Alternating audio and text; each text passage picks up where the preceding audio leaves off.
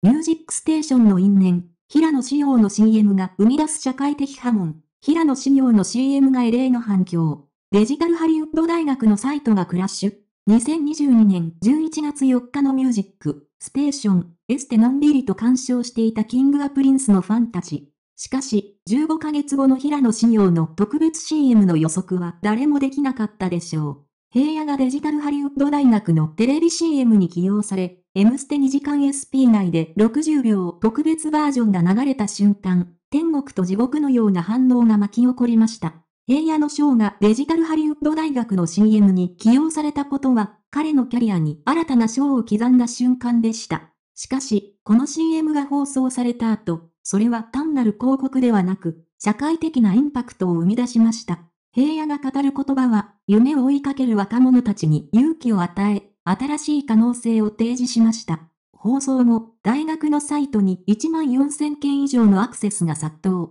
YouTube でも CM は23万回以上視聴され、その周知効果は計り知れません。平野のメッセージが多くの人々に届き、彼のポジティブなエネルギーが共感を呼び起こしました。さらに注目すべきは、平野と神宮寺勇太、岸優太の3人がジャニーズ事務所を離れるという衝撃的な発表。これはエステの出演直後に行われ、ファンたちは驚きと期待に包まれました。掲示板は一気に活気づき、平野の未来に対する期待が高まりました。しかし、注目の一方で番組自体は視聴率の低下に悩んでいました。M ステはかつての輝きを失い、視聴率は6%台まで低下していました。次回予定の特番も月1回のスケジュールになり、これが続くのかに対する疑問が浮上しています。一方で、この状況が新たな可能性を生み出すことも期待されています。視聴者たちは、平野の CM をきっかけにして音楽番組が再評価され、新しい才能やコンセプトが導入されることを望んでいます。